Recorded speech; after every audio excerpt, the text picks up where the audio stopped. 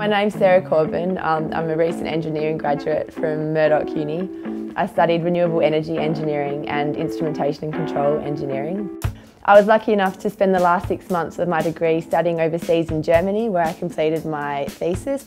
Well, uh, I, I, sort of I wasn't quite sure what I wanted to do when I left uni and I really liked the way that Murdoch taught us. So the first two years at Murdoch are common, so all engineering streams um, do the same unit. Um, you get exposed to all the different majors that we have in your first and second year here. Instrumentation control and renewable energy were the, the two areas I wanted to focus on. And I guess it was the fact that um, Murdoch did expose you to the different areas areas you could go into and then you could sort of follow the areas you wanted to that was a really good thing for me. Um, the facilities here are really great. The labs are pretty hands-on. Learn about it in a lecture and then you can go and apply what you learn and see it in real life in the laboratories. So the kind of software we use and the kind of things we're exposed to um, really relate to what graduates uh, end up working as. Studying abroad was definitely a highlight of my degree. In fourth year um, there was a visiting lecturer coming from a German university who came to speak to us and I just thought it would be a, a really fantastic thing to go and go and spend six months studying overseas. Basically um, just applied for it and and had to think about where I wanted to go. Um, there's a, a whole heap of different options for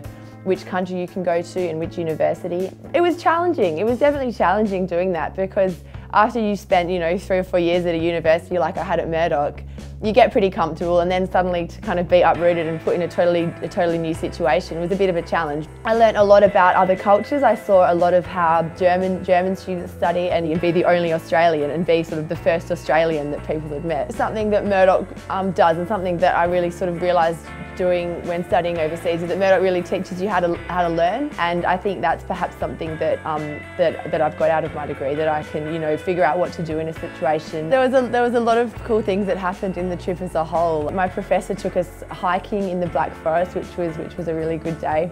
Just remember hiking through sort of half a metre deep snow wearing my cons chucks and realising I probably needed more suitable footwear. I remember one day at the university we went to Germany, Austria, Switzerland and a little country called Liechtenstein all in one day. So I think I wouldn't have had the opportunity to go to four countries in a day if I hadn't been studying in Germany. So the fact that I had to adapt to being at a different university without the sort of support network I had at Murdoch and where they did speak a different language and um, where I was in a sort of totally, totally different environment. I think that's a pretty valuable skill, the, the ability to adapt to new situations.